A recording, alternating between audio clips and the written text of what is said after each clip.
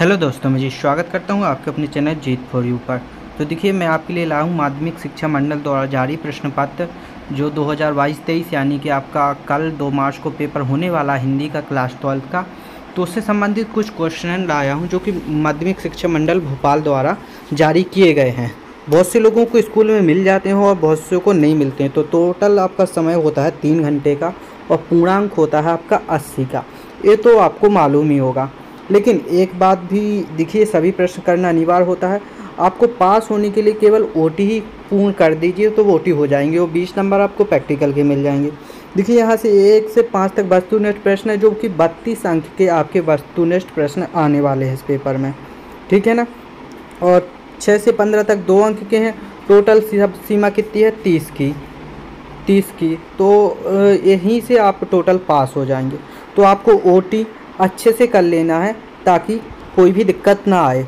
तो देखिए, ऐसे अपनी ओटी होने वाली हैं। दिन जल्दी ढलता है। गीत बच्चन को किस काव्य में संग्रह लिया गया है? ऐसे किस राज्य को रसराज कहा जाता है? जितोष्ठी का गठन है। तो इस तरह से अपनी टोटल बत्तीस नंबर की ओटी आएँगी। ठीक है ना? बत्तीस नंबर की आपकी ओटी आने वाली है। बत्तीस में से अगर आपको तीस नंबर भी करते हो तो वो बहुत अच्छा आप करते हो। तो आपको अच्छे से अच्छे करना है। और एक बार पेपर देने से पहले इस पेपर को आपको पूरा देख लेना, क्योंकि ये आपका भोपाल द्वारा जारी किया गया है तो हो सकता है इसमें से क्वेश्चंस पूछे जाएँ। मैं एक नहीं कह रहा हूँ कि ये ओरिजिनल पेपर है, लेकिन ये आपका मध्य प्रदेश भोपाल द्वारा जारी किया गया है तो कुछ ना कुछ तो इस पेपर से आएगा ही आएगा। इसलिए वो पेपर जारी करते हैं कुछ महीने पहले, ताकि आपको एक आइडिया हो जाए कि आपका पेपर कैसा होने वाला है और कैसा होगा। तो ये आप देख लीजिए। और इसकी पीडीएफ फ़ाइल भी मैं आपको प्रोवाइड करा दूँगा। उसके लिए आपको क्या करना होगा, मेरा टेलीग्राम चैनल ज्वाइन करना होगा। वहाँ पर आपको पीडीएफ फ़ाइल मिल जाएगी। यहाँ से देखिए, अपने दो नंबर के क्वेश्चन चालू होते हैं। जैसे कि पहला क्वेश्चन है, प्रकृति। प्रकृतिवाद के दो कवियों के नाम लिखिए। नई कविता की विशेषताएँ, स्नेह, सुरा से क्या आशय है, ऊषा का जादू क्या है, प्रसाद का गुण संपन्न कविताओं की। इस तरह से अपन को इन क्वेश्चंस के आंसर्स लिखने हैं। तो देखिए, दो खंड का उनके रचनात्मक विधोषा अलंकार की परिभाषा, लक्षण शब्द शक्ति, निबंध को गद्य की कसौटी क्यों कहा जाता है?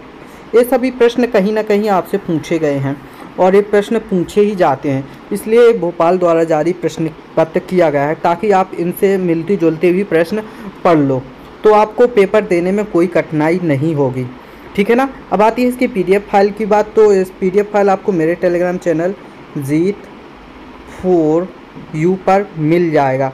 तो वहाँ से जाकर आपकी इसकी पीडीएफ फ़ाइल को डाउनलोड कर सकते हैं और मेरे टेलीग्राम चैनल को ज्वाइन कर लेना। क्योंकि उस पर मैं कुछ चीज़ें डालता रहता हूँ जो यूट्यूब पे नहीं डाल पाता हूँ। कुछ क्वेश्चंस इंपॉर्टेंट क्वेश्चंस वगैरह वहीं पर प्रोवाइड कराता रहता हूँ। तो आप टेलीग्राम को ज्वाइन करके रखें और ज़्यादा से ज़्यादा शेयर करें ताकि हर एक स्टूडेंट की मदद हो सके। तो यहाँ से देखिए अपठित गद्यांश है। इसको तो आपको कर ही लेना है। ये तो मतलब नॉर्मल चीज़ होता है अपठित गद्यांश करने के लिए आपको। तो ये अपने तीन नंबर यहाँ से पूरे पक्के रहते हैं। कोई दिक्कत नहीं आती है इन तीन नंबरों में। तो इस तीन नंबर के क्वेश्चंस होते हैं जो उपयोग गद्यांश का शीर्षक लिखना होता है। आधुनिक पीढ़ी के कवि के परिवार में क्या सोच रहे हैं और संयुक्त परिवार में कैसे परिभाषित किया जा सकता है? तो ये तीन क्वेश्चन है। एक एक नंबर के क्वेश्चन आप मान के चलिए। तो ये आपका बन जाएगा। अपठित गद्यांश ज़्यादा वो नहीं होता है कठिन। इसके बाद देखिए, निम्नलिखित पद्यांश का भाव स्पर्श में, संदर्भ में कीजिए। तो इनका भाव स्पर्श संदर्भ में कीजिए तो ये चार नंबर भी आपके पक्के हो जाएँगे। आपको बस कवि का नाम याद होना चाहिए, बाकी तो आप स्वयं ही लिख लेंगे। ठीक है ना? और एक गद्यांश को लिखना है आपको। और इसके बाद देखिए, यहाँ से देखिए विद्यालय के प्रचार को विद्यालय बुक बैंक से पुस्तकें प्राप्त करने के लिए आवेदन लिखना। एक छात्रावास में रहकर अध्ययन कर रहे अपने पिताजी के लिए लिखे पत्र लिखना है और निम्नलिखित विषयों में से एक विषय पर निबंध लिखना है। तो निबंध देखिए, सबसे पहले आपको क्या है पुस्तकालय का मदद प्रदूषण कितना घातक है, मनोरंजन के साधक बुज़ुर्गों की देखभाल, स्वावलंबन। तो इस तरह से अपन को इन प्रश्नों को कर लेना है। तो यहाँ पर देखिए, अपने टोटल प्रश्न होंगे कितने? ट्वेंटी थ्री और टोटल आंसर नंबर कितने होते हैं? अपने अस्सी। तो इस पेपर को आपको ज़्यादा से ज़्यादा शेयर करना है ताकि आपके हर एक दोस्त की मदद हो सके। और कोई भी अपडेट आता है तो आप टेलीग्राम चैनल ज्वाइन करके रखें हम मैं अपडेट देता रहता हूँ। तो मिलते हैं ऐसी ही अगली वीडियो में। तब तक के लिए धन्यवाद।